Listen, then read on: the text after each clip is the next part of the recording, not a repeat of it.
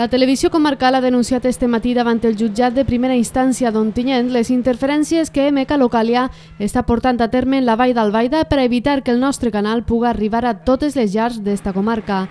La televisió comarcal, adjudicatària del canal 45 de la TDT per a la demarcació Xàtiva-Ontinyent, té els seus emissors per a la vall en el centre emissor del Torrater, en les instal·lacions de Vertis Telecom, que és qui té adjudicat el projecte tècnic per a que puga emetre's de forma legal en este canal. MK Localia no ha volgut sumar-se a este projecte tècnic, l'únic legalment aprovat i que permet compartir mitjans entre les televisions, però a més està interferint el senyal al solapar-se amb el de la televisió comarcal, per evitar així la lliure competència.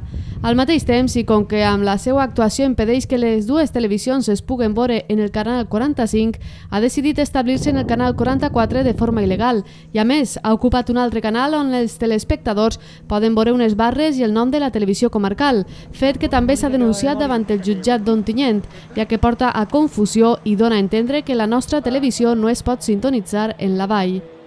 Estos dies darrere ha hagut ja una investigació per part de telecomunicacions, telecomunicacions que ha estat eh, comprovant les il·legalitats que s'estan fent. És dir, s'està inter, interferint el canal 45 i d'alguna manera eh, nosaltres o sigui, hem denunciat ante telecomunicacions que ha vingut a prendre nota de lo que està passant. No?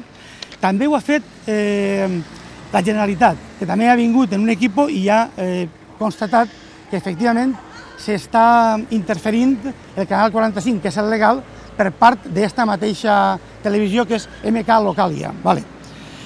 Eh, al respecte, la televisió comarcal també ha alçat un acte notarial, que en el seu moment pues, ja eixirà, perquè és evident de que aquestes no són les úniques mesures que es van a prendre. Se van a prendre moltes més, evidentment. Això simplement ha sigut iniciar tot un procediment que va des de lo penal fins a lo contenciós administratiu allà on corresponga. ¿vale?